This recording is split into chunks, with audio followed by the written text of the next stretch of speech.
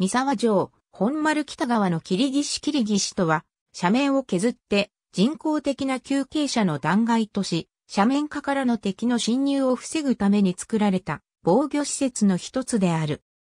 日本では鎌倉時代から戦国時代にかけての城、特に山城で多く作られた。角度が緩い斜面を削って霧岸にした場合、削った土は上の車に上げることもあるが、多くの場合は下に捨てられる。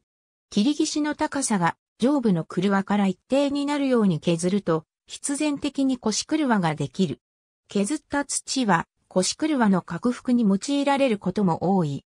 なお、神奈川県鎌倉市周囲の丘陵斜面に見られる、お猿畑の大雪岩などの断崖は、北条氏が三浦市の侵入に備えて、鎌倉防衛のために作った大規模切り岸ではないかとも言われていた。